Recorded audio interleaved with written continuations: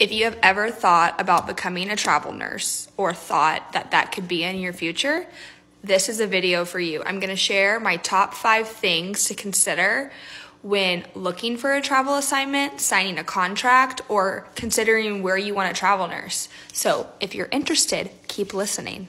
The first one is your license. Personally, I have a Texas compact license. That means I am able to go do my nursing job in 30 something of the states in the US because my license will allow me. For example, I'm a new nurse, I'm in Texas, I have my compact license, I want to go work in California. You have to apply for it, you have to pay for it, and sometimes it takes a while for you to get that license.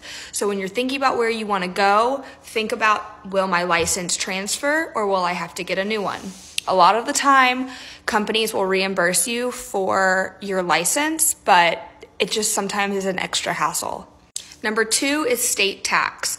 When you're applying for a job, make sure you note if your state has state tax. I'm from Texas, there's no state tax, so I wasn't expecting so much to get taken out of my paycheck. When I went to New Mexico, and I'm in the state now that I'm in, I'm in Arizona right now. That's a news, news flash everyone. I'm in Arizona now. It's not one of those things that a lot of people consider when taking a new travel assignment. Texas, California, there's going to be a big difference. If you know, you know. Number three, probably one of the most important is housing. Housing can be a big pain when you're signing a contract and trying to find where you live in a new city that you've never been.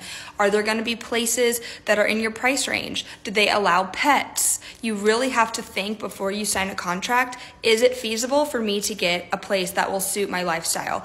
Am I going to have to use public transportation? Can I drive my car? Will I have to bike? What whatever the case may be, housing can become a huge issue. So just make sure there's a lot of options.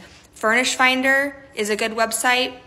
Zillow, uh, Airbnb, and VRBO are good as well. They can just get a little bit more on the pricey side. Number four is the charting system. There's many charting systems out there. So if you've had experience, I've had experience with Cerner only, and all of my travel assignments have had Cerner. So I've gotten blessed with that, but make sure if you've only used Epic and you're going to a new facility and it uses Meditech, just be sure you're aware you're going to have to have a little bit of a learning curve there with the charting system. Number five is how many days a week am I required to work? Most contracts are three or four days a week. I've seen five day a week contracts. So read your contract, make sure you're comfortable with however many days, um, and happy applying. You guys got it.